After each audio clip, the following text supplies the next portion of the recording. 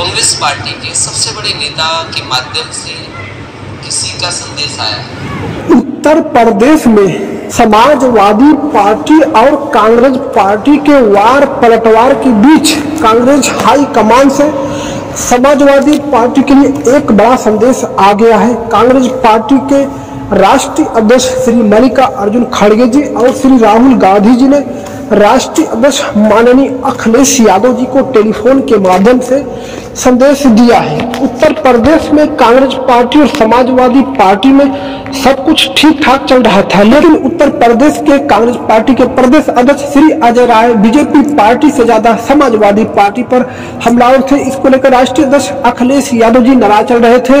मध्य प्रदेश विधानसभा चुनाव में कांग्रेस पार्टी ने अपने प्रत्याशियों के नाम भी घोषित कर दिए थे, लेकिन यहाँ पर मध्य प्रदेश में समाजवादी पार्टी की प्रभावशाली जगह है, जहाँ पर समाजवादी पार्टी के उम्मीदवार दूसरे नंबर पर थे। 2018 विधानसभा चुनाव में कांग्रेस पार्टी ने वहाँ पर भी अपने उम्मीदवारों के नाम घोषित कर दिए थे। इसको लेकर राष्ट्रीय अध्यक्ष अखिलेश यादव जी नाराज़ चल रहे थे क्योंकि कांग्रेस पार्टी ने इंडिया गठबंधन के तहत कुछ सीटें समाजवादी पार्टी को मध्य प्रदेश में देने का वादा किया था।